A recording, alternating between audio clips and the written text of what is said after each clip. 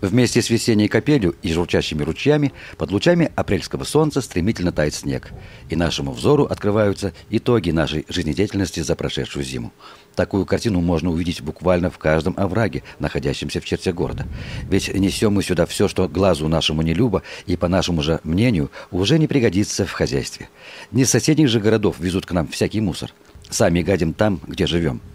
Мы находимся у знаменитого своими прелестями оврага между улицами Хамзина и Крупской. Традиционно население прилегающих улиц сюда э, сваливает не только твердобытовые отходы, но и крупногабаритный мусор. И как видите, вот овраг он достаточно глубокий, неудобный.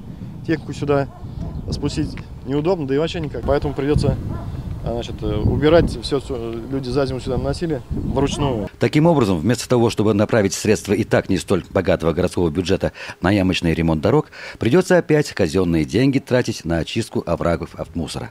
В год парков и скверов в Татарстане, ох, как пригодились бы эти средства на запланированную на этот год реконструкцию парка «Юность» или сквера у филиала «Восток». Как тут не вспомнишь известную народную мудрость «Не плюй в колодец, с которого пьешь». Потом жалуемся и сетуем, что хотелось бы, чтобы город был еще чище и благоустроеннее.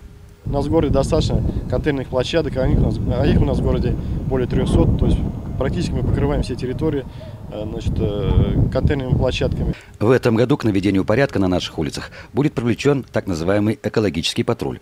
Уже разработаны критерии оценки его работы, сформирован призовой фонд на выявление не только фактов загрязнения окружающей среды, но и самих нарушителей. Я призываю население не делать вот этого, не возить во враги.